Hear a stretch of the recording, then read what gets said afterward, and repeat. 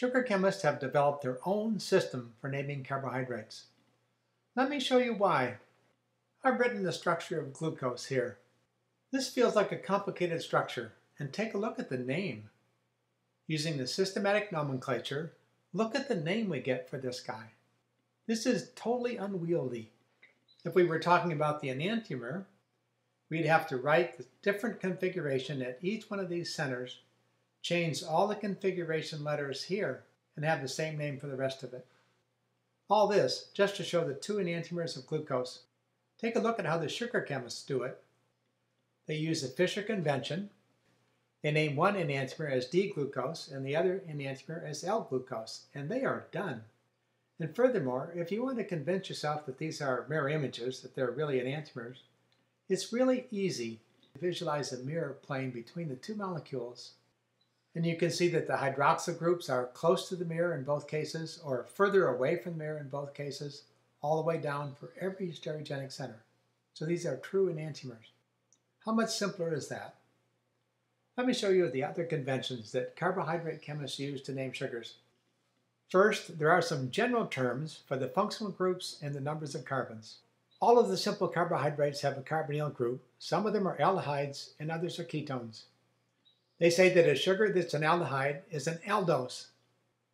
They put an OSE on the end of everything.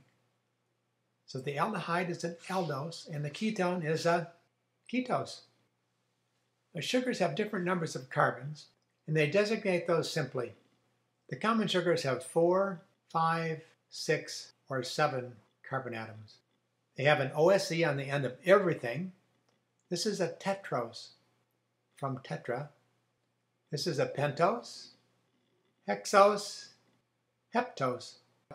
And these two terms can be applied to all monosaccharides. Take a look at these two examples, glucose and fructose. The molecule on the left is an aldehyde and it has six carbons.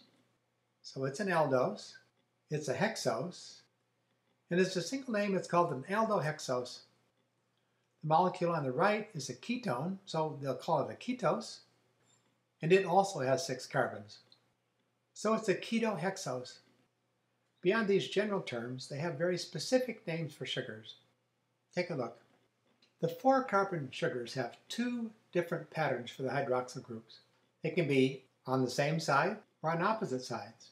They give each pattern a special compound name.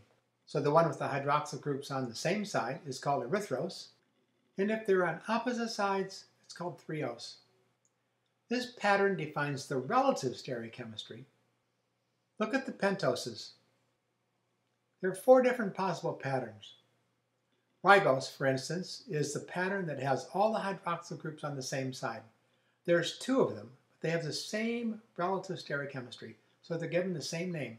They're both called ribose. A different pattern is a arabinose, a third pattern is xylose, and the fourth pattern is lyxose. Each pattern gets its own name. Of course, you need to memorize the patterns that go with the names, or just look it up in a table. The same applies to hexoses. Now we have eight different possible patterns, so we need eight different names. Here they are. In the name glucose, for instance, which we've been looking at, is this specific pattern. Starting at the top, you have hydroxyl group on one side, and switch as you go down. And the third carbon, you switch again and the fourth one stays on the same side. And it's the same pattern if we look at the other one. They are mirror images, but it's the same pattern, so they have the same name. So again, the relative stereochemistry is defined by the name. You look at a name, you can look at the pattern in a table, and you know exactly what stereochemistry you have for that molecule. But that's not enough, is it? We have another type of stereochemistry, the absolute configuration is the hydroxyl group at the bottom sticking to the right or to the left. For every name, there'll be two possibilities, two enantiomers. So the tetroses, for instance, have two pairs of enantiomers, and in each case, the enantiomers are distinguished by defining whether the hydroxyl group is sticking to the right or to the left. The definition tells us to look at the bottom stereogenic center. If the hydroxyl group is sticking to the right, it's D. If the hydroxyl group is sticking to the left, it's L. It's easy to remember, L, left, and the other one is capital D. I want to emphasize that these are capital letters. The small letters mean something else. Little d and L mean the direction of rotation of optical activity. The capital letters are used for absolute configuration like this. And we're all set for naming the structures of the chain aldehydes and ketones, the aldoses and the ketoses, in the open chain form. But the cyclic forms predominate. In fact, in solution, there's very little open chain form of these sugars. For example, glucose can make a five-membered ring or a six-membered ring. If the ring is formed using the upper dark blue hydroxyl group, it's a five-membered ring, and we get this guy. If the ring is formed using the lower light blue hydroxyl group, we get a six-membered ring.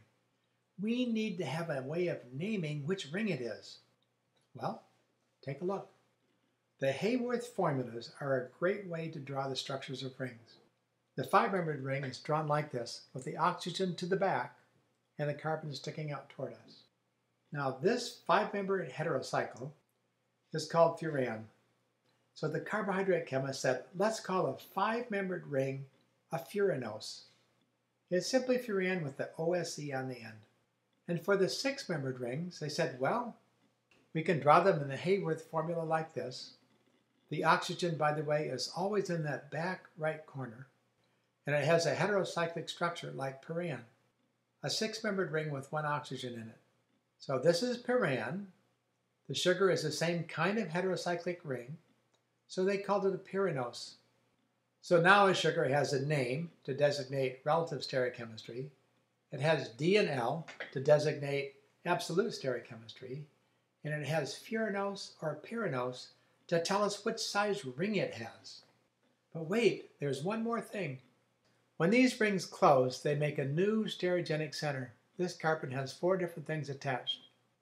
So of course, it could be R and S, only the carbohydrate chemists don't use R and S. They use the designations alpha and beta. Now remember, what's happening chemically is that hydroxyl group is adding to an aldehyde carbonyl. And when it does that, it's making a new carbonyl center. There are two R and S possibilities, as I've shown here when they're in the ring, the hydroxyl group will be sticking up or down. And if it's a carbohydrate, they don't call them RNS. They call it alpha or beta. Here's an example using glucose. Using the Haworth drawings, the hydroxyl group can either be sticking straight up at the anomeric center or straight down. The sugar chemists agreed that they would call straight down alpha and straight up beta. Now I have to work at remembering which is which, and this helps me. We have alpha, which is down, and beta, which is up. Notice that alpha and beta are in alphabetical order, and D and U are in alphabetical order. In any case, these Haworth drawings make it very easy to see, as long as we put the oxygen in the upper right corner of this ring. And we have the hydroxymethylene sticking up. Beta is up and alpha is down. It can be useful to show the sugars in the conformational drawings as well, showing chair forms. And in this case, it's a little hard to see which is which. But here's our hydroxyl group, and it's up because hydrogen is down, and it's beta. Here's our hydroxyl group, it's clearly sticking down, and it's alpha. Okay, so now we really are ready to name sugars. We know all the designations for this stereochemistry, and we have a designation for the size of the ring. Let me show you a couple examples. Here are four different drawings for D-ribose. Let's look at the second structure. Because we've memorized the pattern for ribose, we know it has all the hydroxyl groups on the same side. And because the hydroxyl group is sticking on the right, we know it's D-ribose. Beyond that, we need to tell people that it's a five-membered ring, it's a furanose, and that it has the beta stereochemistry. The hydroxyl group is up. So the full name is beta D ribofuranose. Here's another one. We've been talking about glucose. The full name of the structure is glucose because it has this pattern of hydroxyl groups. The bottom one is sticking to the right, so this is D, and the hydroxyl group is sticking up, so this is beta. Beta-D glucose, and then we need to say the size of the ring. It's a six-membered ring, so it's a pyranose. This works for ketoses also. Take a look at fructose. We've memorized this pattern as fructose. It has a ketone carbonyl the second carbon. And beyond that, it has the same stereochemical pattern as glucose. This particular one has hydroxyl group on the right, so it's D. And at the anomeric center, which is this one, we have the hydroxyl group sticking up, so it's beta. It's a five-membered ring, so it's a furanose. Beta-D fructofuranose.